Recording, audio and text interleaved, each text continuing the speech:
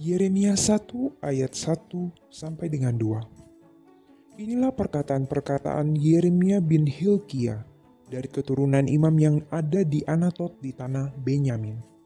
Dalam zaman Yosia bin Amon, Raja Yehuda, dalam tahun yang ke-13 dari pemerintahannya, datanglah firman Tuhan kepada Yeremia. Yeremia, putra seorang imam, lahir dan dibesarkan di Anatot, desa para imam, 6 km di timur laut dari Yerusalem, selama pemerintahan Raja Manasye yang jahat. Yeremia memulai pelayanan sebagai nabi pada tahun ke-13 pemerintahan Raja Yosia yang baik, dan ia ikut mendukung gerakan pembaharuan Yosia. Akan tetapi, ia segera menyadari bahwa gerakan itu tidak menghasilkan perubahan yang sungguh-sungguh dalam hati bangsa itu. Yeremia mengingatkan bahwa jika tidak ada pertobatan nasional sejati, maka hukuman dan pemusnahan akan datang dengan tiba-tiba. Yeremia dipanggil Tuhan untuk menjadi nabi bagi kerajaan selatan Yehuda.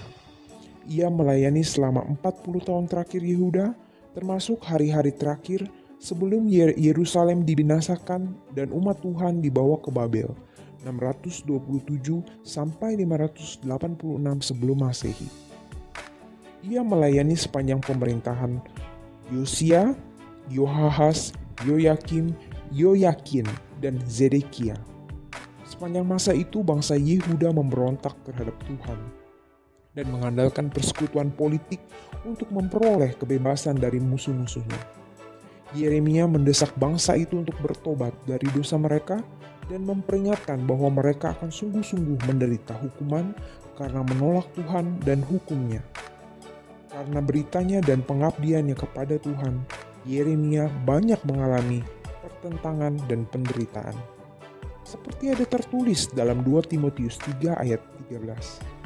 Memang setiap orang yang mau hidup beribadah di dalam Kristus Yesus akan menderita dianiaya. Demikianlah kita akan mengalami banyak tantangan, penderitaan, dan penganiayaan jika kita benar-benar hidup sesuai dengan firman-Nya.